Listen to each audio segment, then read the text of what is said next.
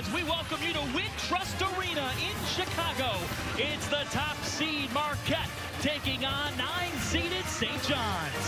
And Danny King, who's back for the Golden Eagles after missing her last game with a knee injury. Yeah, they sure are happy to have her back. Right away, little backdoor cut action to Natisha Hiedeman. Who had 17 points in that win over the Golden Eagles. You think Hiedeman's ready for the tournament? That they won two years ago in Milwaukee. King on the crossover and the bucket. Marquette has started conference play 12 and all. Off on the three. Since then, they're just three and three.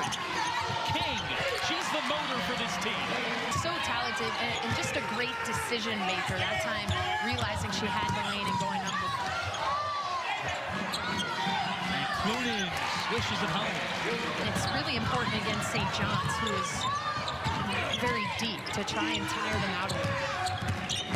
King got a step and lays it in. Wilborn, Big East most outstanding player in the tournament two years ago. Spingola.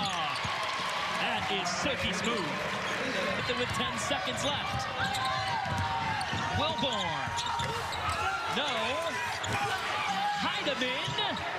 Yes! Close the quarter. John's team.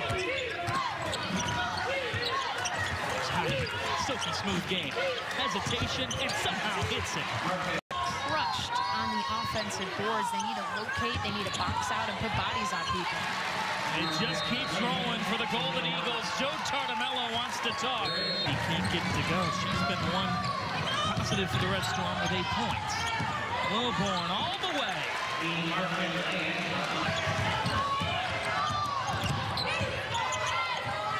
Amani Wilborn, yes. In a one-on-one -on -one matchup and wanting to get that stop. How about this Golden Eagles defense? And then a touchdown pass to Blockton from Hiedeman. Collar the quarterback. Not a bad option when you can go Big East Player of the Year to Big East Player of the Year, John. Those. Time to go. Wilborn. Then Clooney. You bet. Right. You need a prime cut. You call Chris Withers. Need a three? Just call Selena. Brings this one. Look at Hiedeman. Another bomb. Selena Lott, yes. Natisha Hiedeman channeling Aaron Rodgers. Two seconds, another try. Just short. Blocked in. Beats the buzzer. Three straight buzzer beaters for these Golden Eagles. The effort that they know they're capable of. But like you said, there's a lot to look forward to with this group. Allazia Blockton's finding it. 11 points,